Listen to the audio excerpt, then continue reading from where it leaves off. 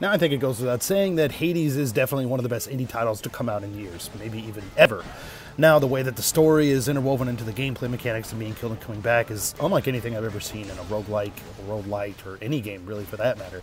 The gameplay here also is just solid. The visuals and art aesthetics are amazing, and the voice acting is just awesome. Now, simply put, you really need to have this game in your collection. Now, up until recently, it was only possible to add this game to your digital shelf.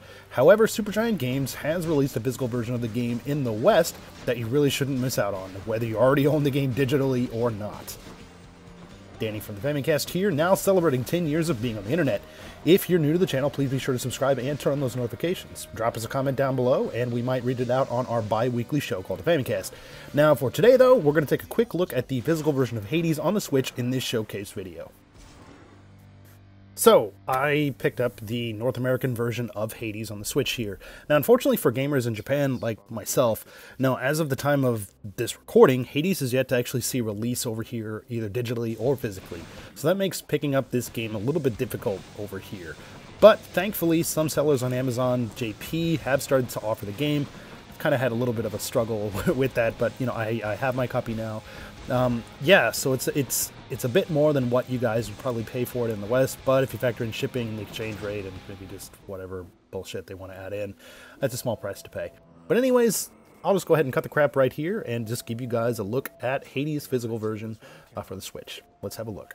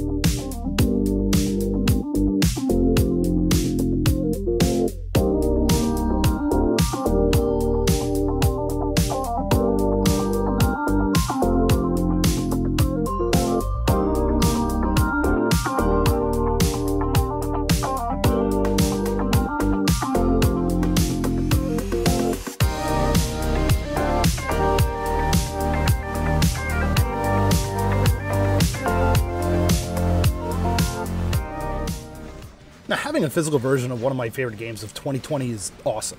Now, it's great to see everything from the game translated into this physical package. Now, sure, I would have loved to see more here. Like, you know, kind of like what I showed off in the video here, you could you could see some uh, video clips of the collector's versions of The Witcher 3, or just like the basic version of Witcher 3 on the Switch, or the Legend of Zelda Link's Awakening, the Japanese version with the art book.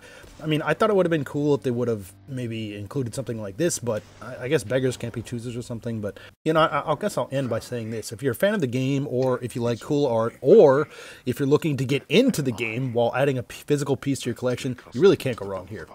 But let's turn things over to you guys. What do you think of the physical version of Hades? Did you actually pick it up yourselves? What's your favorite weapon in the game? Be sure to sound off in the comments below. We'd love to hear from you. As always, thank you guys for checking out this video. If you like what you see, please feel free to drop us a like here.